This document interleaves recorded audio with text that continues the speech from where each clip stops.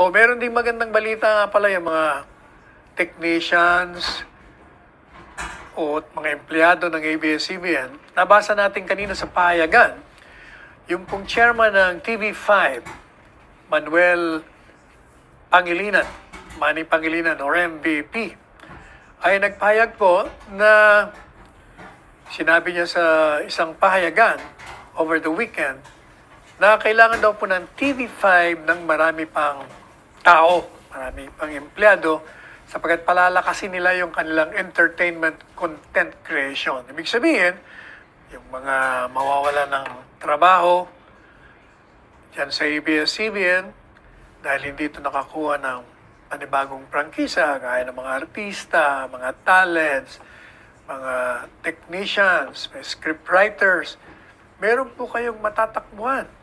Sapagkat ang TV5 ay naghahanap ngayon ng mga talents, mga directors, scriptwriters, at mga cameraman. Ang sabi po ni MVP or Manny Pangilinan, if they're willing to work with us, kung kayo daw po ay willing naman na magtrabaho sa kanila, they're prepared to offer alternative jobs for the displaced workers. Yun nga po ang sinasabi natin, di ba? Na hindi naman tapos na ang pangarap ng mga nariyan sa ABS-CBN sapagkat gaya na sinabi natin, marami pang mga platforms na nailalabas. Yung mga news programs at mga entertainment shows. Kaya hindi naman lahat mawawala ng trabaho. At yung mga mawawala naman, may mga naghihintay na trabaho sa kanila. Eh, kaya yan. Ang binanggit natin noon ay PTV4. O kaya may PTV5 na. And I'm sure marami pang iba. Kaya, oh, that reminds me, yung pong mga ginagawang ulitin natin, kasi nakikita po natin yung noise barrage, mga gathering po ninyo.